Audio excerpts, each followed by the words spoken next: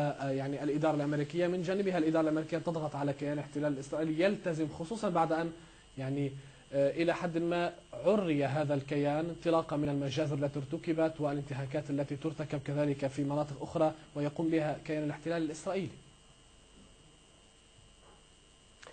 هو اللي تقدر أمريكا عليه إن هي تحاول إن تخلي إسرائيل يعني دولة تعلن عن نياتها الحقيقية بخصوص ترسانتها النووية. بمعنى مثلا أمريكا وروسيا عندهم أسلحة نووية كتيرة جدا. نعم. يقدروا مثلا يقتلوا مليار من البشر. لكن في تصريحات بعدم مثلا استخدام الأسلحة النووية في المقام الأول. ما يعرف باسم first strike capability أو القدرات الدفاعية اللي هي تخول لدولة ما ضرب دولة أخرى نوويا.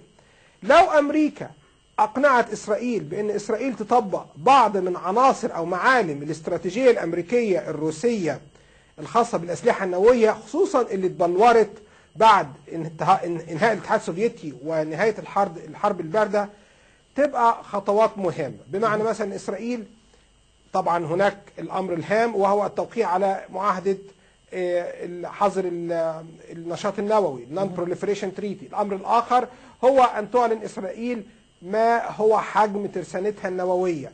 الأمر الآخر هو التعهد الإسرائيلي بعدم استخدام الأسلحة النووية وبالذات كضربة وقائية أولية. لو أمريكا أعدت قائمة بالمطالب طبعا إسرائيل يعني مش ممكن ما تلتزمش بيها ممكن تلتزم ببعضها آه، ممكن تلتزم بيها كلها. لكن يعني أهم حاجة هو مدى استعداد أمريكا لطرح هذه المطالب على إسرائيل؟ والموافقة الإسرائيلية أو الرفض الإسرائيلي الخاص بها؟ لكن هناك أمر مهم. هل بالأساس تستطيع بالأساس هو دكتور ميخائيل على بالأساس هل لديها النية النية الإدارة الأمريكية القيام بهذه الخطوة؟ يعني تلاحظ أن هناك فعلا مصداقية وجدية من قبل الإدارة الأمريكية فيما يتعلق بالسعي فعلا لإخلاء منطقة الشرق الأوسط من أسلحة الدمار الشامل. قبل أن نتحدث ربما عن ضغطها على كيان الاحتلال الإسرائيلي أو سعيها للقيام بهذه الخطوة. يعني زي ما قلت في الأول ده يعتمد على الرغبة السياسية لبراك أوباما وإلى حد ما وزيرة الخارجية هيلاري كلينتون. هل هم قادرين على يعني الإعلان عن هذا صراحة؟ ويعني هل هم في آه، نية آه، المواجهة مع إسرائيل؟ لأن هناك مواجهة أمريكية إسرائيلية خاصة بالمستوطنات والخلافات ما بين نتنياهو وأوباما اللي أخذت بعد شخصي. لكن ده بيعتمد إذا كانت إدارة أوباما وأوباما شخصيا قادر على طرح هذه المطالب على إسرائيل ربما هذا يكون أحد المطالب جيد. الخاصة بالدبلوماسية العربية. جيد.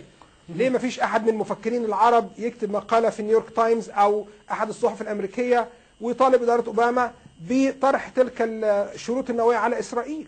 الأمر متروك في آه، البيت البي... المكتب البيضاوي. طيب دكتور بركات كيف تعلق على هذا الكلام؟ وخصوصا يعني هناك من يقول أنه فعلا في هذه المرحلة هناك جدية من قبل الإدارة الأمريكية انطلاقا من تصريحات مثلا الرئيس باراك أوباما أن الدول التي لن تتخلى عن سعيها إلى امتلاك ترسانة نووية سيكون مصيرها العزلة. آه، وزيرة الخارجية كلينتون تقول أن الدول التي ستنتهك حظر الانتشار ستدفع ثمنا باهظا هل هذا الخطاب يعني يؤكد أن هناك مصداقية لدى الإدارة الأمريكية أو سعي فعلا وهناك تغيير في هذه السياسات؟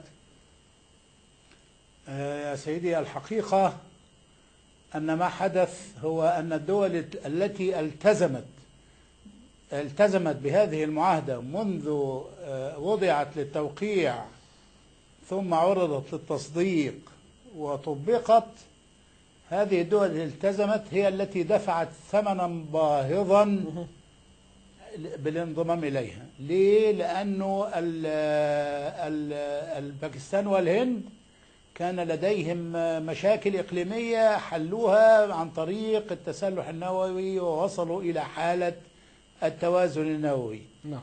في الم- المنطقة الإسرائيلية والشرق الأوسط تركت إسرائيل تتسلح ونشطت كل أجهزة ال- ال- الرقابة والتفتيش على الدول العربية للتأكد من أن كل ذرة من أعمالها في مجال العلوم النووية والاستخدامات السلمية هي في المجال السلمي فقط. ولذلك أنا شايف أن منذ البداية المسألة كلها سياسة في سياسة في سياسة.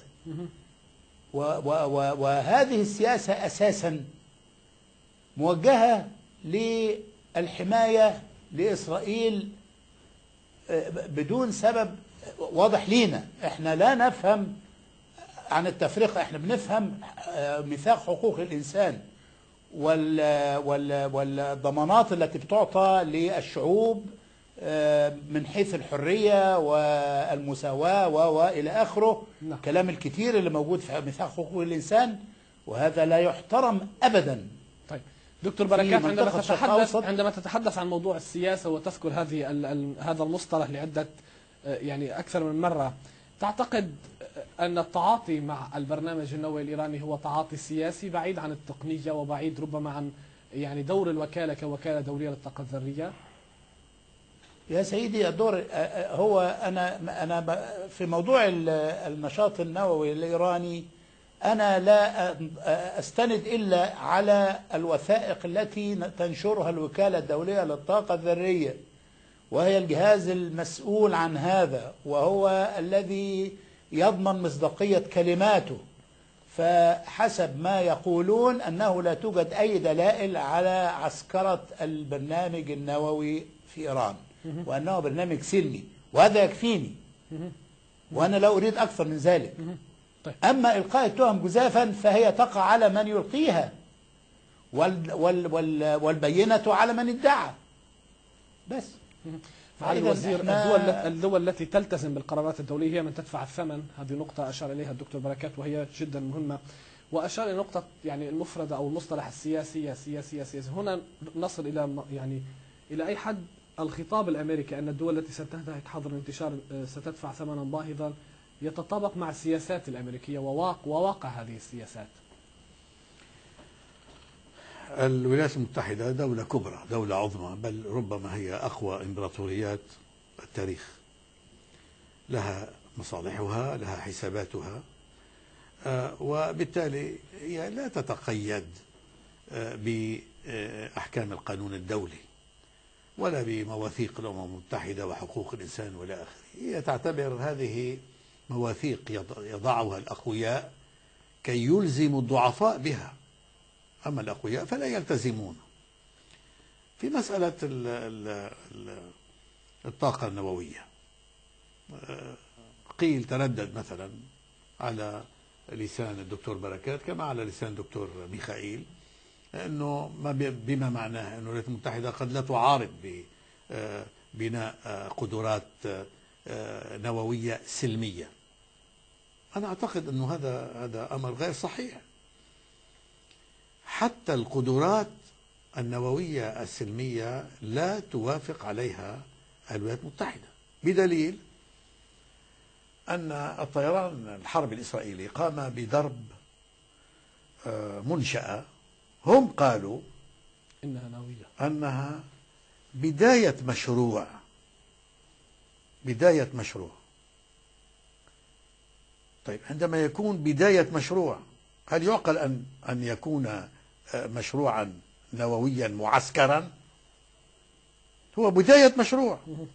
لم يحتملوا أن تقوم سوريا بحسب ادعائهم سوريا تقول كلا هذه ليست منشأة نووية.